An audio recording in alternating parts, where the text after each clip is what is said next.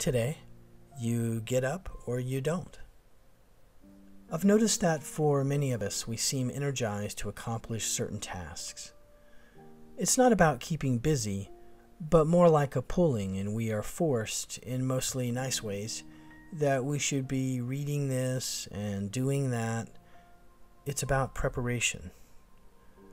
When you think of free will, here's a perfect example.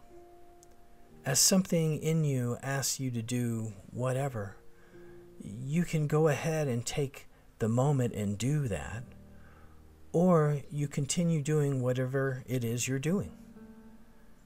When it happens, it's for that moment.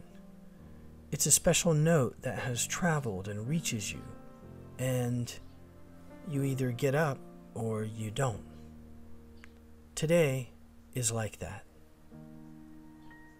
Go ahead and set your intentions now.